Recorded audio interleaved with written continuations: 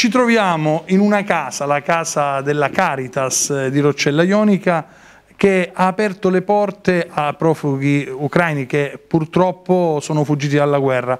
Eh, un'ospitalità coordinata, organizzata dalla parrocchia San Nicola di Bari, eh, guidata dal, eh, da padre Francesco Carlino e dai suoi collaboratori.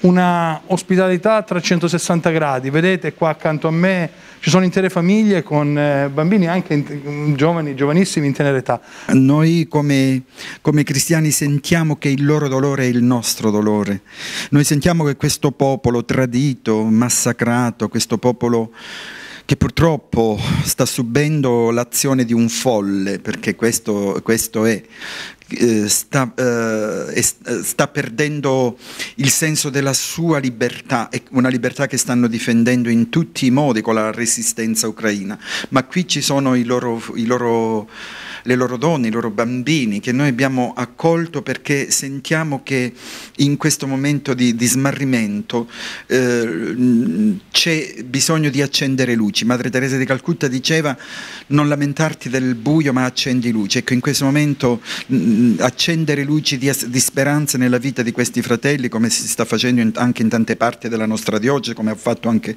il nostro vescovo che insomma ha, ha mandato un pullman a prenderne una cinquantina che sono nelle diverse realtà, anche noi come Roccella abbiamo messo questa casa a disposizione. Ecco, questa casa che è dedicata al professore Cappelleri una casa che ha aperto le porte e non è la prima volta, dobbiamo dirlo, perché nel momento in cui c'è stata l'emergenza dei minori non accompagnati, sbarcati al Porto delle Grazie di Roccella Ionica, questa casa si è aperta e ha dato l'opportunità a questi giovani di vivere, di eh, rimanere eh, appunto protetti e sotto un tetto per diverse settimane. Mima Pacifici, com'è che eh, siete riusciti a coinvolgere questo gruppo, perché poi si tratta di un bel gruppo, anzi io direi di un gruppo nutrito. Sì, eh no, è stata una cosa che diciamo che è stata spontanea, perché penso che in questo momento, eh, che, eh, rispetto a quello che sta succedendo lì in Ucraina, devo dire la verità, la mia prima eh, cosa è stata quella di partire, no, mi veniva proprio voglia di prendere il pulmino, lo dicevo alle amiche ucraine, roccellesi. Di andare lì. E di andare lì, andare lì ad aiutarli, dicevo partiamo, dai, io guido, quindi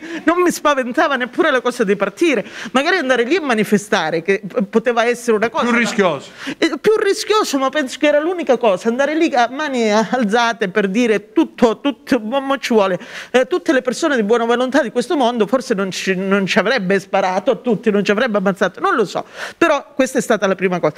Poi abbiamo detto cosa possiamo fare concretamente, diamo una mano a Padre Francesco, diamo una mano e lo abbiamo fatto insieme a tutto questo gruppo meraviglioso di Roccella, che è stato un gruppo spontaneo che si è unito abbiamo fatto una chat dove ora ce ne sono tantissimi, ce ne sono altri che vorrebbero entrare. La miglioreremo ulteriormente, noi non ci siamo, noi vogliamo che loro vivino qua serenamente, che insomma trovino anche uh, quel comfort bene o male che avevano a casa loro. Quindi lavoreremo, la miglioreremo insieme a loro, insieme a loro, ormai con quelle che vivono qui eh, passiamo intere giornate. Ad ascoltare qualche storia, ecco, eh, qualcuno diceva io non parlo bene italiano, però ci capiamo. Qual è la storia più difficile fra quelle che hai ascoltato dei tuoi connazionali? Che sono venute da Kiev, proprio dove... Chi, chi è venuto da Kiev? Questi ragazzi qua. La mamma con tre figli. Papà è rimasto lì? Papà è rimasto lì perché adesso uomini che hanno 60 anni, eh, non possono più di 60 anni, possono li, li uscire dall'Ucraina, quelli che fino a 60 anni no. Ora com'è la situazione? Si sente per telefono? Eh, chiede Lei al suo figlio, riesce a parlare con suo figlio? I suoi eh, parenti dicono che la casa è ancora sana, diciamo Palazzo Sano, però vicino c'è un paese che si chiama Bravari, ehm, com, combattono tantissimo. Terzo classe. Eh, lei ha dieci anni, eh, fa ehm, la terza, la quinta elementare. Ehm, I tuoi compagni ora che fanno? I tuoi compagni?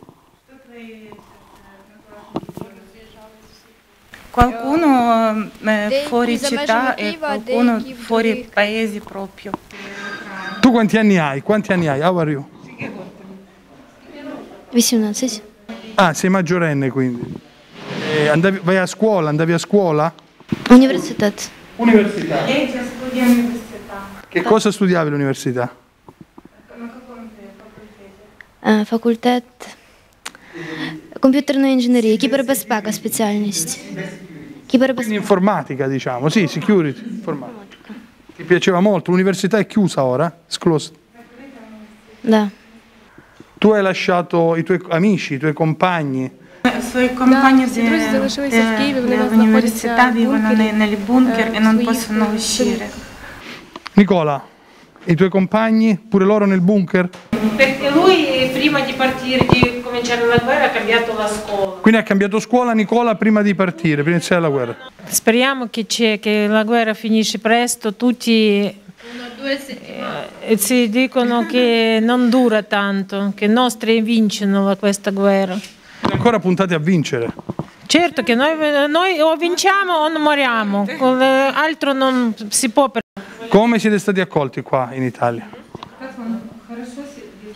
Ancora non hai imparato l'italiano. Хорошо. Хорошо. Нравится. Нравится, да. Приняли очень хорошо. Mm, comportato molto bene, mi trovo benissimo.